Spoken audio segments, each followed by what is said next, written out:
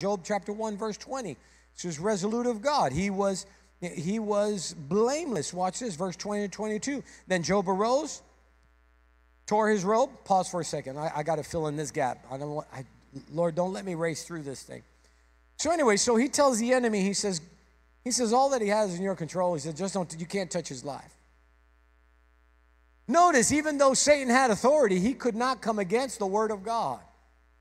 That's how powerful God is. Yeah, yeah, you can touch it all, but don't, don't touch his life. Can't touch his life. So the Bible says, you know, uh, one day a person comes running in and he says, everybody was eating and the house fell down, all your family's dead. Another one come running in, all your crops and everything that you had, a fire came down, blowed it all away. And every one of them said, I alone was left alive.